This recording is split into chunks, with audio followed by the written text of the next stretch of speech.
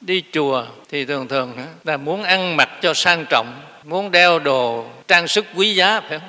Dài dép phải thật là đẹp và sang, đắt tiền. Ở đây ai làm như vậy không? Cái này thầy khuyên đừng đừng nên. Này đức phật không cho mình làm. Hại cho mình mà hại cho cho đại chúng hại cho cho chùa ta nói chùa mình đây đó phải coi như là ít ăn trộm.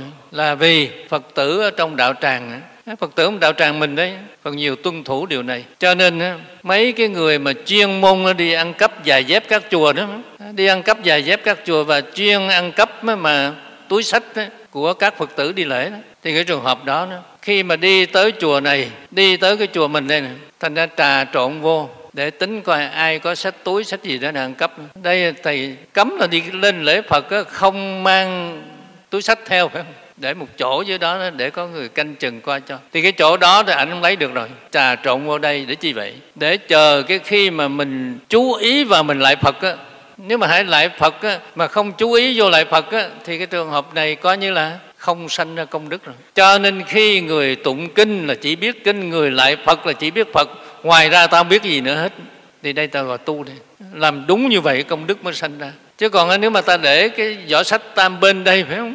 Thành ra ta vừa lại phật, nhưng mà ta vừa liếc nhìn cái vỏ mình. Đương nhiên là trong lòng mình nghĩ tới cái vỏ này hơn là nghĩ tới Đức Phật. Thì như vậy công đức đâu sanh được. Các Phật tử nên nghiệm. Cho nên có những người đi chùa cả đời mà không sanh phước lại.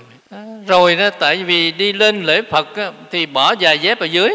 Mà đôi giày mình mới mua đây tới mấy trăm ngàn đắt tiền quá, phải không? Thầy không biết là dài bên ngoài bao nhiêu, nhưng mà thầy nghĩ như vậy đó. Vào khoảng độ mấy chục ngàn hay mấy trăm ngàn gì một đôi, phải không? Thành ra lên đây lễ phật, thì lễ phật.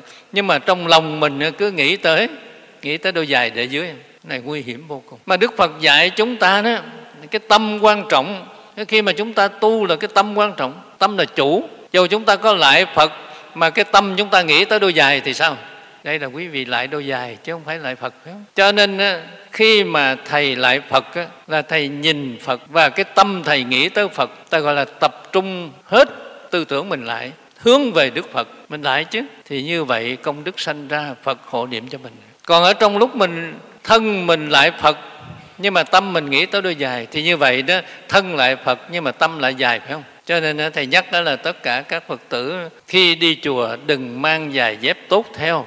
Mình mất công để ý tới cái chuyện này mà làm cho kẻ gian tham ấy, nó có cơ hội tới đây để quấy rối. Mình vừa mất của mình vừa kẹt vào tâm đây mình vừa sanh nghiệp nhưng mà mình tạo điều kiện để cho cho người xấu người ác tới đây tạo nghiệp nữa công nghiệp với họ nữa thì tới cuối cùng mình sẽ đi vào trong con đường đó cho nên đó thầy nhắc lại đó, là khi chúng ta đi tới chùa lễ phật thì đừng mang theo những cái đồ trang sức quý giá, đừng đem theo nhiều tiền bạc và đừng mang giày dép tốt. Tuy nhiên là phải ăn mặc cho sạch sẽ, phải không? mình nên tắm gội sạch sẽ mới đi chùa, chứ không để hôi dơ mà đi chùa. Ở trong này đó thì thầy nói thêm cái nữa đó, là người ốm đau bệnh hoạn nhất là là bệnh truyền nhiễm. Là chúng ta nên nên ở ngoài chúng, chứ không không nên vào chúng. Tại vì ờ, ở trong luật ờ, đức phật cũng đã dạy này, nếu mấy thầy có những cái bệnh truyền nhiễm truyền nhiễm ngày xưa, thời đức phật đã có bệnh hủi rồi, bệnh hủi rồi, bệnh cùi nữa, thành này bệnh truyền nhiễm, không được vào trong chúng ờ, lây nhiễm người ta.